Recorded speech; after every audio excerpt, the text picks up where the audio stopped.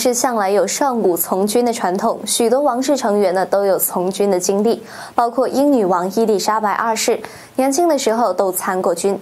而英国王室现在两位年轻的王子哈里王子与威廉王子，更是有着丰富的军事经验。两人都在军队服过役，而且都上过战场，参加过实际的战争，并且借着战功与王室的身份，在军队中获得了较高的荣誉职务。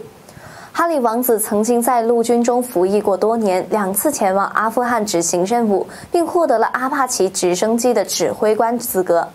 二零一七年的十二月，英女王伊丽莎白二世任命哈里为英国皇家海军陆战队的司令，这是一项充满荣耀与光辉的军队职务。因为英国皇家海军陆战队是英国的精英部队，这一项职务呢，也是对哈里王子在战场上为国效力的表扬与肯定，是十分值得骄傲的一项任命。然而，哈里王子这个用战功换来的军队里的荣誉职务，已经因为他与妻子梅根宣布离开王室而被国家收回。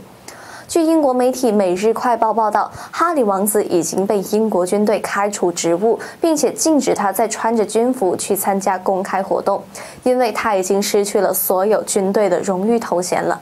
《每日快报》这一篇报道的题目是“哈里受屈辱，公爵被剥夺军权，被禁止穿军装，每个人都应该为自己做出的选择而承担后果”。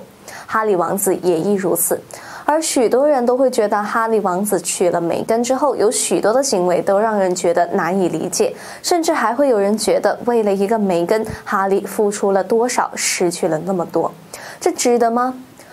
你如一句名言：“生命诚可贵，爱情价更高。”有时候，爱情的价值是不能用物质的财富来衡量的。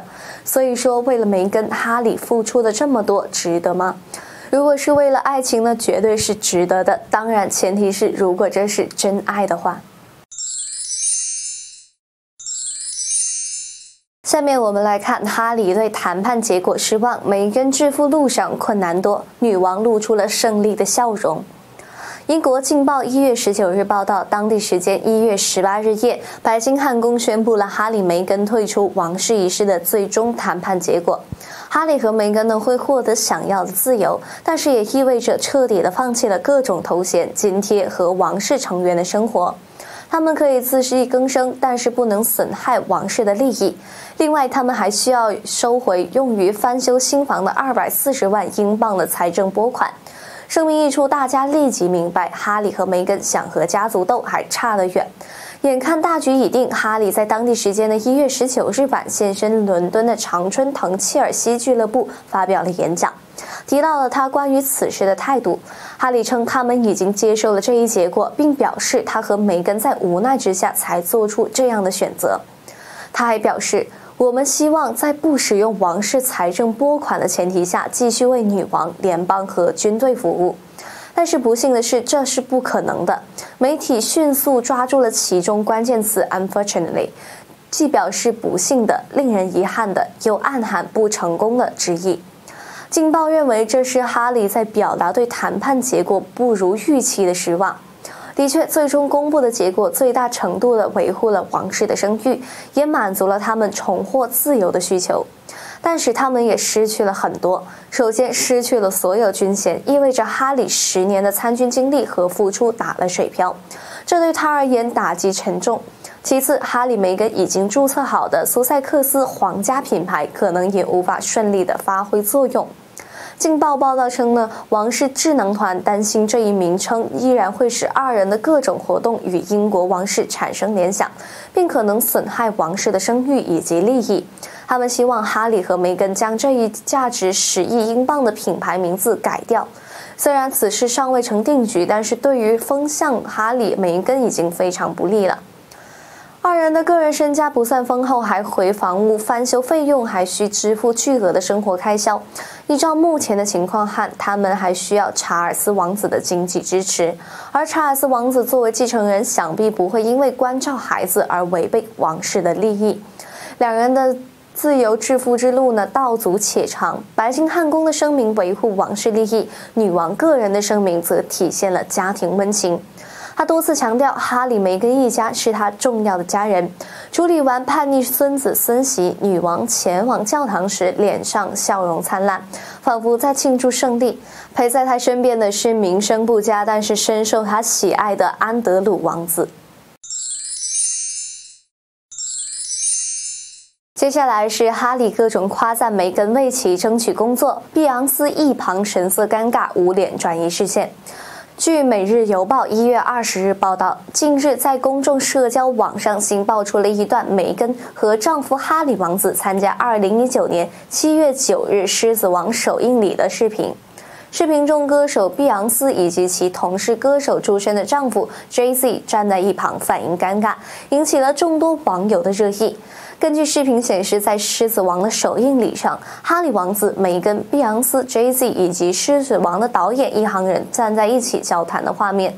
当时，哈里王子一直向导演乔恩·费如夸赞妻子梅根，并想带她争取一份配音工作。他说道：“如果有需要配音人员，我妻子将随时待命。”梅根半开玩笑的接话道：“这就是我们来这的真正原因。”此时呢，站在一旁的碧昂斯用手捂住了自己的半张脸，然后不自然地把目光移开了。众多网友在视频下方留言称，碧昂斯在整个交谈的过程中看起来都很尴尬。哈利王子还继续对导演说道：“只要不要刀疤就行了。”刀疤呢是《狮子王》中的一个反派角色，他试图从辛巴那里窃取王位。Jay Z 忍不住笑了起来。对此，网友们纷纷发表自己的看法。看看碧昂斯，他知道发生了什么事。他和 Jay Z 必须假装什么事都没发生，直到哈利梅根夫妇与导演的谈话完毕。看着这一幕很痛苦，每个人看起来都很尴尬，尤其是在梅根和碧昂斯说话的时候，这太有趣了。碧昂斯和 Jay Z 看起来好像都不太喜欢梅根。事实上，在同一场活动中，哈里王子还向六十八岁的迪士尼首席执行官鲍勃伊格尔吹嘘了梅根的配音技巧。此举呢，似乎让鲍勃的妻子前电视台的主持人威洛贝感到意外。而几个月后呢？众所周知，梅根被雇佣参与了一个迪士尼的项目，但是作为交换，他将捐赠一个野生动物保护和自然研究慈善机构。近日宣告放弃皇室头衔的哈里和梅根，可能会包括流媒体网站在内的娱乐公司签订利润丰厚的合同。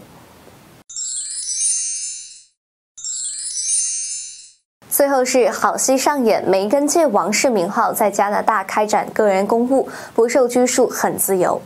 在桑德林厄姆庄园家庭谈判结束之后，早早飞回加拿大的梅根首都亮相，从温哥华岛的维多利亚海港机场乘坐水上飞机前往温哥华。发布了退出王室声明后，梅根一直都未露面。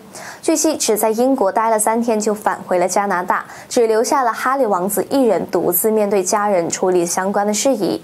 当天的梅根不似以往大牌加身，穿起了亲民低调风，军绿色的外套搭配黑色的长裤以及长靴，所背的包也是大型的手提包，而不是以往出席活动时的小巧手拿包。此次梅根前往温哥华访问了市中心的东区妇女中心。在那里一起谈论了影响妇女的一些问题。此次的访问活动呢，事先并未通知，算是梅根的一次私人活动。在访问结束后，梅根和当地的妇女拍了合照，稳居 C 位。一切从简的穿搭看起来很平易近人，丝毫没有王室成员的架子。